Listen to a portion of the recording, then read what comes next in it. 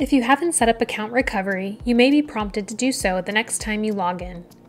Account recovery ensures you can recover your Keeper account in case you forget your master password. It is possible that the prompt to set up account recovery has been dismissed. If you don't see it when you log in, you can access this feature by clicking on your email address in the upper right hand corner of your vault. Select Settings, and next to Security Question, click the Reset Now button. Now enter your master password and provide a security question and answer. Be sure to use only a question you would know the answer to.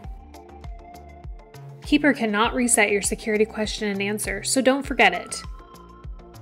When you are done, click Save. Your security question has now been set. Now that you've set up account recovery, you can reset your master password if you ever forget it by clicking the Need Help button at the login screen and following the prompts.